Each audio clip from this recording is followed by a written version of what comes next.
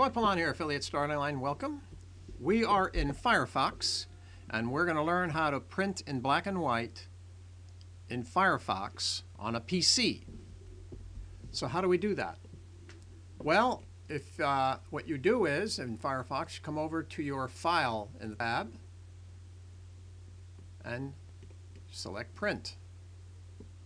Or you can do a Control P and it'll give you the same box. Then when you're in print, you want to click Properties. Then when you're in Properties, you go to the main navbar here, click the Color tab. And then when you get the Color tab and it renders here, you come down to the Print in Grayscale and click Check It. Click OK. And click OK. And you're off to the off to the races and printing in black and white. I'm going to cancel that. So just to recap,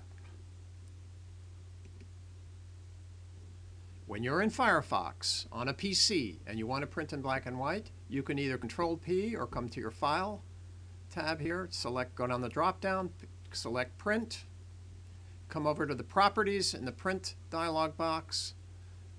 It will render a second dialog box. Come over to the nav bar, select the Color tab, come over here, check Print, click OK.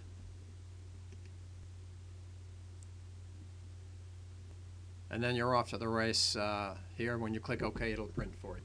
So that's how you print in black and white in Firefox on a PC. I hope this video has been helpful.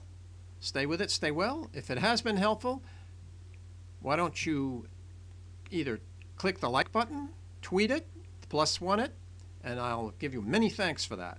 In the meantime, stay well, and we'll talk soon.